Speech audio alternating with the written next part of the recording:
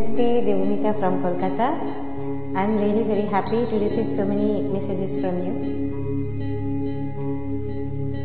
किस्मत से तुम हमको मिले हो कैसे छोड़ेंगे ये हाल हम ना छोड़ेंगे किस्मत से तुम हमको मिले